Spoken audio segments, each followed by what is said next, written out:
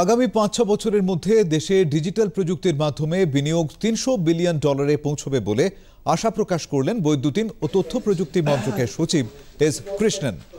কলকাতায় গতকাল বণিক সভা, মার্চেন্ট চেম্বার অফ কমার্স আয়োজিত আলোচনা সভায় তিনি বলেন, তথ্য প্রযুক্তি ক্ষেত্রে দেশে বিপুল কর্মসংস্থানের সৃষ্টি হয়েছে, কৃত্রিম মেধার ক্ষেত্রেও বিনিয়োগ বাড়ছে।